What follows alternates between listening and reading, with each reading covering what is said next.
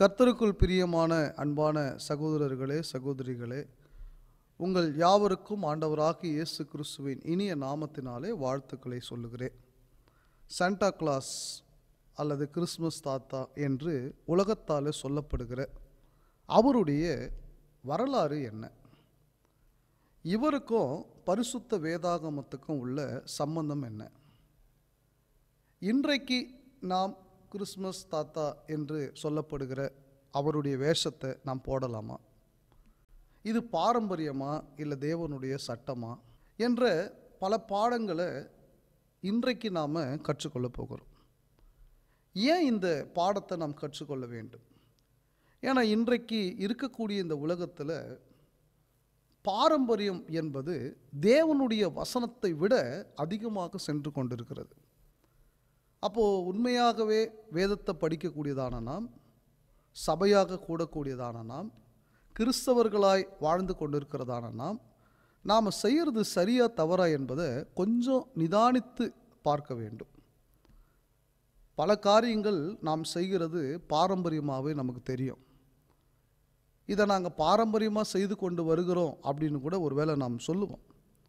ஆனால் அதை நாம் நிறுத்த மாட்டோம். அதை நாம் வேணான்னு சொல்ல மாட்டோம். அது அந்த பழக்கம் நமக்குள்ளே வந்து விட்டதுனால அதை ரொம்ப மகிழ்ச்சியாக செய்வோம். அதில் ஒன்று தான் இந்த சாண்டா கிளாஸ் அல்லது கிறிஸ்மஸ் தாத்தா அப்படின்ற ஒரு நம்பிக்கை. இந்த ஆடியோவை நீங்கள் பொறுமையாக கேளுங்க. கடைசி வரைக்கும் கேளுங்க. இது சரியாக தவறான்றதை நீங்களே முடிவு பண்ணுங்கள் அதுக்கு முன்னாடி ஆண்டவராக இயேசு கிறிஸ்து சொன்ன ஒரு வார்த்தையை உங்களுக்கு நான் சொல்கிறேன் மத்திய சுவிசேஷம் பதினைந்தாம் அதிகாரம் மூன்றாவது வசனத்தில் அவர்களுக்கு அவர் பிரதியுத்திரமாக நீங்கள் உங்கள் பாரம்பரியத்தினாலே தேவனுடைய கற்பனையை ஏன் மீறி நடக்கிறீர்கள்? என்று கேட்டார். பிரியமானவர்கள் ரெண்டே காரியம்தான். ஒன்று பாரம்பரியம் இன்னொரு பக்கம் தேவனுடைய வசனம். இந்த ரெண்டும் ஒன்று ஆகாது. வடக்கும் மேற்கும் போல இருளும் வெளிச்சமும் போல மேடு பள்ளம் போல இது ஒன்று ஆகாது. எப்பவுமே இந்த ரெண்டு காரியங்கள் ஒன்று ஆக வாய்ப்பே இல்லை. இரண்டு எஜமான்களுக்கு ஊழியம் செய்ய ஒருவனாலும் கூடாது என்று ஆண்டவர் இயேசு கிறிஸ்து போதிக்கிறார். உலகப் பொருளுக்கும் தேவனுக்கும் ஊழியம் செய்ய முடியாது. அதே போல தான் பாரம்பரியத்தையும் தேவனுடைய கற்பனையும் சேர்த்து நாம் கை கொள்ள முடியாது. ஒரு சில நேரத்தில் நமக்கே தெரியும் நாம் செய்கிறது பாரம்பரியம் தான். இருந்தாலும் என்ன பண்ணுறது எல்லாரும் செய்கிறாங்க உலகமே செய்து நான் மட்டும் வேண்டாம் அப்படின்னு சொன்னால் என்ன ஒரு வித்தியாசமாக பார்ப்பாங்க? என்ற காரணத்துக்காகவே அந்த பாரம்பரியங்களை கை கொள்கிறவங்க உண்டு. ரெண்டாவது ஒரு சந்தோஷத்துக்காக உலக சந்தோஷத்துக்காக அதை செய்கிறவர்களும் உண்டு. ஆனால் பிரியமானவர்களே வேத வசனத்தின் அடிப்படையில் தான் நாம் ஒரு கிறிஸ்தவர்களாக இருக்கணும். இயேசு கிறிஸ்து மீண்டும் வரப்போகிறார். அவர் வரும்பொழுது நம்மை நியாயம் தீர்க்க போகிறார். அவர் எப்படி நம்மை நியாயம் தீர்ப்பார் என்று வேதத்தில் படிக்கிறோன்னா தான் சொன்ன வசனத்தின்படியே நம்மை நியாயம் தீர்ப்பார். அப்போ அவருடைய வசனத்தின்படி வாழ்வது என்பது அவசியமாக இருக்கிறது. பாரம்பரியத்தின்படி வாழ்வது என்பது தவறாக இருக்கிறது. இப்போ பாரம்பரியம்னா என்ன? சுருக்கமாக சொல்லணும்னா நாம் ஏன் செய்கிறோன்னு தெரியாது. எதுக்கு செய்கிறோன்னு நமக்கு தெரியாது. யாரோ ஒருவர் கற்றுக் கொடுத்திருக்கிற காரியத்தை தொடர்ந்து நாம் செய்யக்கூடியது தான் பாரம்பரியம். அப்போது அதில் மிக முக்கியமாக இன்றைக்கு நாம் கற்றுக்கொள்ளக்கூடிய பாடம் இதுதான். கிறிஸ்மஸ் தாத்தா சென்டா கிளாஸ் இன்றைக்கு டிசம்பர் மாதம் என்று வந்தாலே வீட்டுக்கு வீடு கேரல் போக ஆரம்பிச்சிடுறாங்க. அந்த கேரலில் மிக முக்கியமான ஒரு நபராக கருதப்படுகிறவர் இந்த கிறிஸ்மஸ் தாத்தா. அதுவும் ஒரு காலத்தில் பார்த்தீங்களான்னா ஒருத்த ஒருத்தர் தான் அந்த வேஷம் போட்டு கொண்டு வருவார். இன்றைக்கி அப்படி இல்லை. எல்லாருமே தலையில் அந்த தொப்பி போட்டுக்கிட்டோம் தாடி வச்சுக்கிட்டோம் அந்த ட்ரெஸ்ஸு போட்டுக்கிட்டோம் வீட்டுக்கு வந்துடுறாங்க. சில வீடுகளில் டான்ஸ் ஆடுறாங்க. அவங்க சந்தோஷத்தை வெளிப்படுத்துகிறோம் அப்படின்னு சொல்கிறாங்க ஆனால் பரிசுத்த வேதாகமும் இதை அனுமதிக்கிறதா? இது சரியா? நீங்கள் இந்த பாடத்தை நிதானமாக கேளுங்க. அவசரப்படாதீங்க. பைபிளை கையில் எடுத்துக்கிட்டு சொல்லக்கூடிய வார்த்தைகளை பொறுமையாக பாருங்கள் ஏன்னா எரேமியா புத்தகம் ஆறாம் அதிகாரம் பதினாறாவது வசனத்தில் இப்படியாக வாசிக்கிறோம்.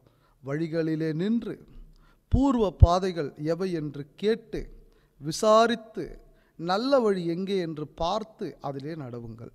நாம் விசாரிக்கிறதும் இல்லை கேட்குறதும் இல்லை வழியை பார்க்குறதும் இல்லை யாரோ ஒருத்தர் இப்படி போங்க அப்படின்னு சொன்னோடனே நாமளும் அந்த வழியிலே போய் கொண்டு இருக்கிறோம் அப்படி போய்கொண்டிருக்கிற பண்டிகைகள் என்றால் ஒரு சந்தோஷம். இது போல் வேஷம் போடுவது என்றால் எனக்கு சந்தோஷம். விசேஷமாக நிறைய வாலிப சகோதரர்கள் சகோதரிகள் இந்த காரியத்தில் ரொம்ப இன்ட்ரெஸ்டாக இருக்கிறாங்க. இது கிறிஸ்மஸ் அப்படின்னாலே நிறைய வாலிபர்களுக்கு சந்தோஷம். ஏன்னா டான்ஸ் இருக்குது பாட்டு இருக்குது மியூசிக் இருக்குது பண்டிகை இருக்குது. இந்த மாதிரி வேஷம் போட்டுக்கொள்ளலாம் அப்படின்னு ரொம்ப சந்தோஷம். அது எனக்கு பிரியமான வாலிப சகோதரனே சகோதரியே நீங்கள் வழிகளிலே நில்லுங்கள். இந்த வார்த்தைகளை கேளுங்கள். இது சரியா தவறான்றது நிதானிங்க சரி இந்த கிறிஸ்மஸ் தாத்தா என்று அழைக்கக்கூடிய இந்த சாண்டா கிளாஸ் இவருடைய வரலாறு என்ன? ஒருவேளை இந்த வரலாறு உங்களுக்கு சில பேர் தெரிஞ்சிருக்கலாம். சுருக்கமாக நீங்கள் பாருங்கள் இவர் கிபி இரநூத்தி எழுபதில் லீசியா என்கிற ஒரு துறைமுக பட்டணத்தில் பட்டாரா என்ற இடத்துல பிறந்தவர். இவர் பார்த்தீங்கன்னா ஒரு பணக்கார குடும்பத்தில் பிறந்தவர். ஆனால் சிறு வயதிலேயே அவங்க அப்பா அம்மா இறந்து போயிடுறாங்க. நிறைய சொத்து வச்சுட்டு. இவர் வளர்றாரு. வளரும் பொழுது இவருக்கு நிறைய பேருக்கு நல்லது செய்யணுன்ற எண்ணம் அவருக்கு இருந்ததாக நம்பப்படுகிறது. அப்படி அவர் வளர்ந்த பிறகு அவர் எருசலேமுக்கு போகிறாரு அந்த எருசலேமில் பார்த்தீங்கன்னா ஒரு மூன்று பெண் பிள்ளைகளை வைத்திருந்த ஒருவர் அவர் தன்னுடைய மகள்களுக்கு காசு இல்லாததுனால திருமணம் பண்ணி கொடுக்க முடியாதவராக இருந்ததாக சொல்லப்படுகிறது. அப்போ இந்த அஹ், சாண்டா கிளாஸ் இவருடைய இயற்பெயர் பார்த்தீங்கன்னா நிக்கோலஸ். இந்த நிக்கோலஸ் அப்படின்னு சொல்லக்கூடியவர் பார்த்திங்களான்னா அவர் தன்னுடைய சொத்தை விற்று அதை ஒரு மூணு சாக்கு பையில் கோல்டு காயினாக போட்டு அதை ராத்திரோடு ராத்திரியாக அவர் அங்கே வச்சுட்டு போயிட்டாரு அப்படின்னு நாம் கேள்விப்படுறோம். இப்போ அதிலிருந்து தான் அவரை பற்றி மக்கள் பேச ஆரம்பிச்சிட்டாங்க. ஆனால் பாருங்கள் இவர் ஏறக்குறைய கிபி முந்நூற்றி நாற்பத்தி மூணில் டிசம்பர் ஆறாம் தேதி அவர் துருக்கியில் மீரா என்ற இடத்துல அவர் இறந்து போயிடுறாரு இதோடு அவருடைய பேச்சு அங்கே முடிந்து போய் விடுகிறது. அவருடைய வரலாறு முடிந்து விட்டது. அதன் பிறகு அவரை பற்றிய இந்த வேஷமோ ட்ரெஸ்ஸோ அல்லது எல்லாரும் இது போல் இன்னைக்கு வீடுகள் தோறும் இந்த மாதிரி போடக்கூடிய அந்த காரியமோ அப்போல்லாம் இல்லை. ஏறக்குறைய சொல்லப்போனால் ஒரு சில நூற்றாண்டுகள் வந்த உடனே அதை மறந்துட்டாங்க. ஆனால் ஒரு சில மக்கள் மட்டும் நம்பிக்கை வச்சுருந்தாங்க. நீங்கள் ஆயிரத்தி எண்பத்தி ஏழில் சில இத்தாலிய வணிகர்கள் அவருடைய எலும்புகளை அங்கே எடுத்து கொண்டு போய் அவங்க இடத்துல வச்சுக்கிட்டாங்க. ஏன்னா அவங்க ஏறக்குறைய நீங்கள் பார்த்தீங்களான்னா இந்த நிக்கோலஸை அவரை ஒரு கடவுளாக அவங்க பார்த்தாங்க. இது ஒரு வழக்கமான ஒரு காரியம்தான். ஏன்னா கிறிஸ்துவுக்காக வாழ்ந்தவர்கள் சமூக சேவை செய்தவர்கள் கிறிஸ்துவுக்காக ரத்தம் சிந்தினவர்கள் இவங்களெல்லாமே உலகம் ஒரு கடவுளாக பார்க்க ஆரம்பிச்சிச்சு இன்னைக்கு. ஒரு பேதுருவோ பவுலோ தன்னை ஒரு வேலைக்காரர்கள் என்று சொல்லி கொண்டாங்க. நான் ஒரு சாதாரண மனுஷன் என்று சொல்லி கொண்டார்கள். ஆனால் இவங்களையே கடவுளாக பார்க்கக்கூடிய மக்களும் இன்றைக்கி நிறைய பேர் இருக்கிறாங்க இல்லையா? அந்த மாதிரி இவரையும் கூட சில பேர் பார்த்தாங்க. ஆனால் அந்த அளவுக்கு இல்லை. ஒரு சில கூட்டம் மட்டும் இவரை பற்றி பேசிக்கொண்டு இருந்தது ஆனால் பிரபலமாலாம் பேசல ஆரம்ப காலத்தில். இவர் எப்போ பிரபலமானார்? இதனுடைய வரலாறு தான் ரொம்ப ஆச்சரியமாக இருக்குது. நல்லா கவனிங்க. கிபி ஆயிரத்தி எட்நூற்றி இருபத்தி மூணில் நியூயார்க்கில் கிளமன் மோர் அப்படின்னு சொல்லக்கூடியவர் ஒரு பொயம் ஒரு கவிதை ஒன்று எழுதுகிறாரு ஒரு பத்திரிக்கைக்காக அந்த பொயம் பேர் பார்த்தீங்கன்னா a visit from Saint Nicholas அப்படின்ற ஒரு கவிதையை அவர் எழுதுகிறார் அதாவது என்ன அதில் எழுதுறாருன்னா நிக்கோலஸ் என்று சொல்லக்கூடிய ஒருத்தர் வாழ்ந்தார். அவர் இது போல் நல்லது செஞ்சுருக்கிறார் அப்படின்னு அவர் ஒரு பொயம் எழுதுறார். இது ரொம்ப அந்த காலத்தில் ரொம்ப வைரலாக ஆரம்பிச்சது. எல்லாரும் அவரை குறித்து பிரமிச்சாங்க. அப்போ தான் அவங்க பேச ஆரம்பித்தாங்க இப்போ இதன் பிறகு என்ன ஆச்சுன்னா அவரை பற்றி அந்த அந்த வார்த்தைகள் ஒரு கவிதை மட்டும்தான். அவருடைய உருவமோ அவர் எப்படி இருப்பார் அவர் என்ன ட்ரெஸ்ஸு போட்டுட்ருப்பார் எதுவுமே மக்களுக்கு தெரியாது. அதன் பிறகு ஆயிரத்தி எட்நூற்றி எண்பத்தி ஒன்றில் தாமஸ் நேஸ்ட் அப்படின்ற ஒருத்தர் அவர் வந்து ஒரு பொலிட்டிக்கல் கார்ட்டூனிஸ்ட் அவர். அவர் என்ன செய்கிறாருன்னா இந்த கவிதையில் சொல்லப்பட்டிருக்கிற நிக்கோலஸுக்கு ஒரு உருவம் வரைகிறார் அவர் வரைஞ்ச உருவம் என்னென்னா ஒரு வயசானவர். படத்தில் பார்த்தீங்கன்னா அவர் கைடு அந்த சுருட்டு வச்சுருப்பார். இதெல்லாம் நீங்கள் உண்மையாக சர்ச் பண்ணி பாருங்கள் இது பொய் சொல்லலை உண்மையான ஒரு காரியம். அவர் கொஞ்சம் குண்டாக இருப்பார் அவருக்கு தொப்பை இருக்கும் கையில் பேக் இருக்கும். இப்படி தான் அவர் இருந்திருக்கலாம் அப்படின்னு இவர் சுய கற்பனையாக ஒரு படத்தை வரைஞ்சார். ஆனால் பாருங்கள் அப்போ கூட அவருக்கு ரெட் கலர் ட்ரெஸ்ஸுன்றது கொடுக்கப்படலை. பாருங்கள் இது எப்படி பாரம்பரியமானது எப்படி பரிணாம வளர்ச்சி அடைகிறதுன்றதை பாருங்கள் எந்த ஒரு பாரம்பரியமும் திடீர்னு வராது. அது பரிணாம வளர்ச்சி அடையும். அதுக்கு அடுத்தது அவருக்கு எப்படி அந்த ட்ரெஸ்ஸு வந்தது? அது இன்னும் ஆச்சரியம். நம்ம நினச்சி பார்க்க முடியாத ஒரு ஆச்சரியம்.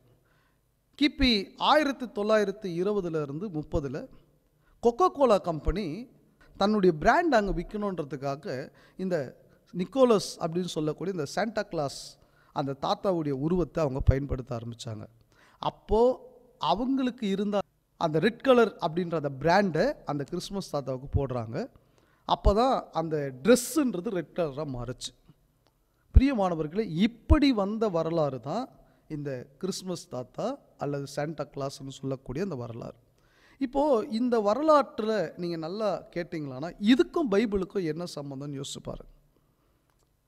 இன்றைக்கு இந்த டிசம்பர் மாதம் அப்படின்னு வந்துட்டாலே எல்லாரும் வேஷம் போடக்கூடிய அளவுக்கு எல்லாரும் அந்த உடைகளை போடக்கூடிய அளவுக்கு இதுக்கும் பைபிளுக்கும் என்ன சம்மந்தம் பிரியமானவர்களே நாம் நல்லா சிந்தித்து பார்க்க வேண்டும்.